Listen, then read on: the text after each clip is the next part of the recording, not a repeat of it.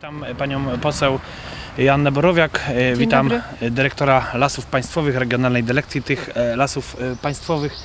Witam również nadleśniczego naszego tutaj z naszego terenu. Szanowni Państwo, spotykamy się dzisiaj e, z Państwem. E, Ja jako przedstawiciel lokalnego samorządu cieszę się, że e, jest podjęta decyzja e, dotycząca wyremontowania tejże e, drogi, tego e, krótkiego, ale jakże ważnego i jakże trudnego odcinka e, na, na tym właśnie terenie kończącym Włocławek, a doprowadzającym do e, autostrady e, A1.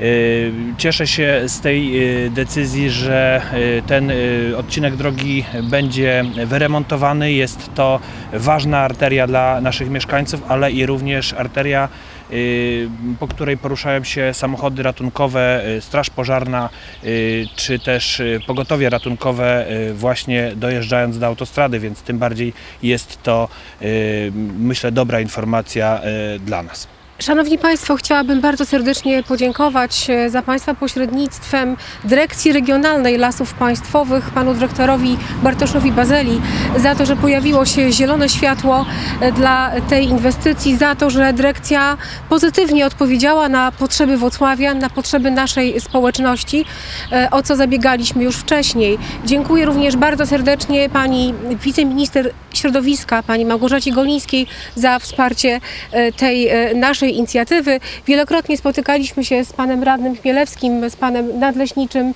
e, aby omówić te kwestie i cieszę się bardzo, że teraz pojawiło się to zielone światło, że mm, Dyrekcja Regionalna Lasów Państwowych zdecydowała o tym, iż ten odcinek drogi, jakże bardzo ważny dla Włocławian, ale nie tylko, będzie remontowany ze środków nadleśnictwa właśnie, nie obciążając tym samym pieniędzy samorządu lokalnego. Panie dyrektorze. E, Dziękuję Pani Poseł. E, Szanowni Państwo, e, w momencie powołania mnie na dyrektora Regionalnej Dyrekcji Lasów Państwowych w Toruniu za moim, moim z głównych priorytetów była dobra współpraca z samorządami i z lokalnymi społecznościami i wychodząc właśnie naprzeciw tutaj e, e, inicjatywie Pani Poseł i Pana Radnego e, daliśmy zielone światło tutaj Panu Nadleśniczemu z Nadleśnictwa Wocławek, aby jak najszybciej e, tą drogę tutaj wyremontować, bo wiemy, że to jest ważna droga, e, która, e, która e, po remoncie e, przysporzy Wocławianom e, wiele pożytku. E, Jeszcze raz dziękuję i e, chciałbym tutaj teraz przekazać głos panu nadleśniczemu, e, który już omówi szczegóły budowy tej drogi, remontu tej drogi, szczegóły techniczne i moment rozpoczęcia inwestycji i zakończenia. Dziękuję bardzo. Proszę Państwa, o tej drodze już Pani poseł wspomniała Pan radny, Pan dyrektor Regionalnej Dyrekcji Lasów Państwowych w Toruniu. My jesteśmy, proszę Państwa, w tym tutaj terenie. Y, Nasza przebudowa będzie robiona wzdłuż, Państwo widzą, lasu, czyli tutaj, gdzie my się znajdujemy, aż do, do wylotu do drogi brzeskiej.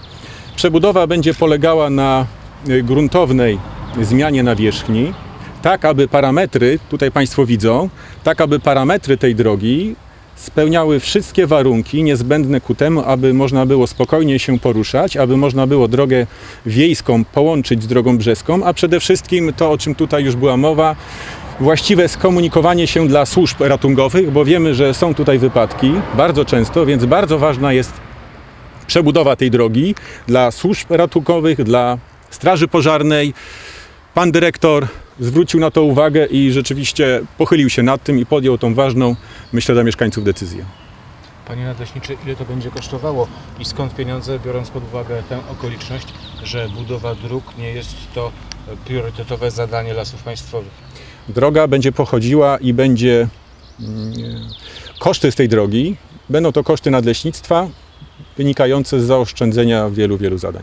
Bowiem, tak jak mówię, to jest bardzo ważne, więc te środki, które mieliśmy na przebudowę dróg, zostały zminimalizowane właśnie po to, aby tą drogę tutaj zrobić.